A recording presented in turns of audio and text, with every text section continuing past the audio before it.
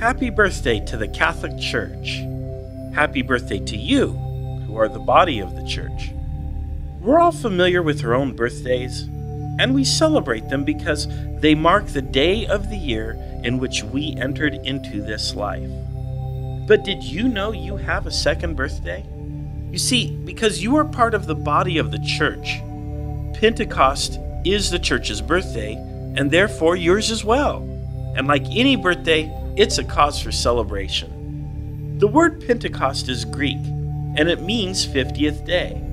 50 days after Easter Sunday, we celebrate the coming of the Holy Spirit upon the apostles and their followers, and the beginning of their earthly ministry to make disciples of all nations. Pentecost is also a Jewish holiday, which the Jews use to celebrate the end of Passover.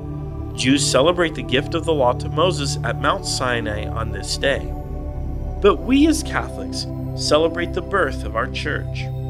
At Pentecost, the apostles and their followers were gathered in a room. Jews from all over the world were gathered with Peter, the leader of the apostles, and the eleven. At this time, a great wind from heaven blew, and a flame appeared as a tongue of fire which split itself into many individual flames above the heads of all those present. The Holy Spirit came upon these people, and each began to speak in tongues.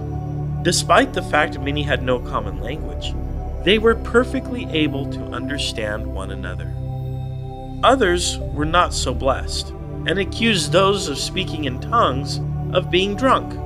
But Peter arose and addressed the crowd, explaining that it was only nine o'clock and that this phenomenon was not intoxication, but rather this was the work of the Holy Spirit prophesied in Scripture. Peter then called all those present to be baptized, and about 3,000 people were baptized on that day. These people were among the first Catholics, and Peter is the first pope of the Catholic Church. The symbols of Pentecost are the flame, wind, and the dove which represents the Holy Spirit. The color of Pentecost is red, and the priest wears red vestments on this day. Parishioners are also invited to wear red on this day. Red decorations, as well as celebrations, are perfectly appropriate, similar to any other birthday. Special prayers are often said just for Pentecost.